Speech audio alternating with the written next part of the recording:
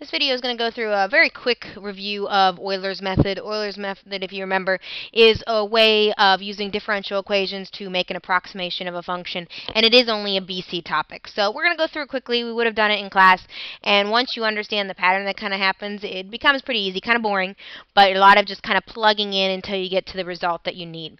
So here's a question that I found from one of the AP test prep books where it gave you the differential equation.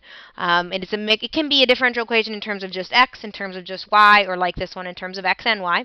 They have to give you a starting piece of information, initial conditions, and we know that when we put 2 in for x, we get 5 out for y for our function.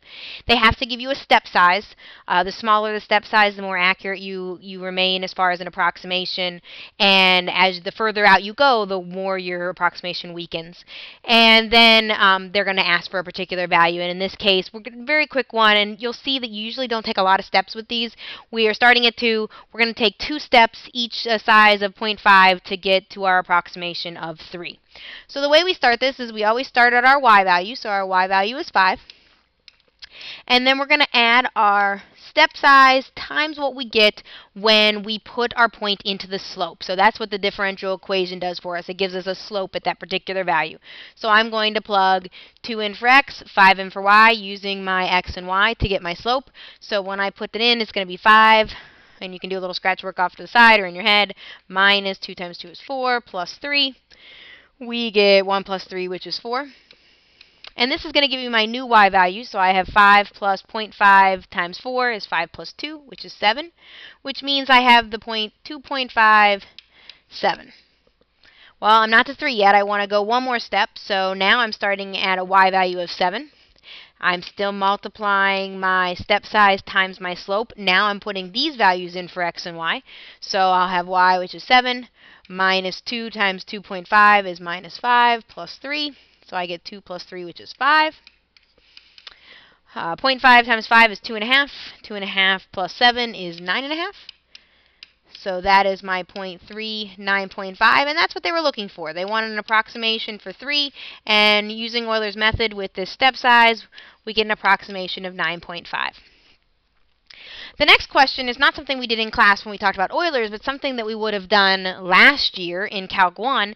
It's basically another way to make an approximation, and what we're looking at is we're going to use the tangent line to make an approximation. We called this the local linear approximation. And what this is saying is if we can write the equation for the tangent line to the function at the point 25, then we can use that to come up with our approximation for what's happening at f of 3. So tangent line, I need to have an x and a y, which I already do, and I need to have a slope. Well, my slope is going to come from this differential equation that they gave us that I already circled. So we're going to put the point 25 in there and get my slope, which we actually would have already done a little while ago, but I'll do it again just to make sure everything went well. So 5 minus 2 times 2 is 4 plus 3. So we get a slope of 4 we have our 0.25. So we can write our tangent line in either uh, point slope or slope intercept. I'm just going to go with point slope because it's very easy. So y minus 5 equals the slope x minus 2. That's my tangent line. If I want to simplify it and get it into slope intercept form, I can. If I want to stop there, I'm already getting full credit.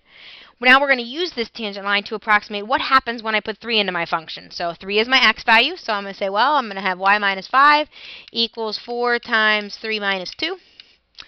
4 times 3 minus 2 is 4, so I have y minus 5 equals 4. So using my tangent approximation, tangent line approximation, I get 9. And you can see these are pretty close. Euler's uh, approximation gave us a value of 9.5 when I put 3 in, and the tangent line approximation gave us a value of 9.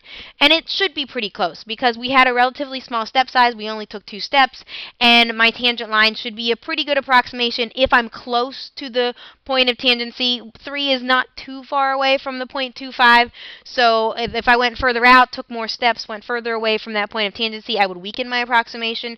But here, when we're pretty close to that point, we're, we're uh, we have a pretty decent approximation. So these are the type of things that you'll be asked to do on your quiz. Um, looking now with your quiz with the differential equations applications, we have four total topics that you need to know. You need to be able to use Euler's method, like what we just did here. You need to be able to do exponential growth and decay, reviewing what we did last year, Newton's law of cooling, and then finally logistic growth. And you'll have three videos, including this one, that will review all of those topics.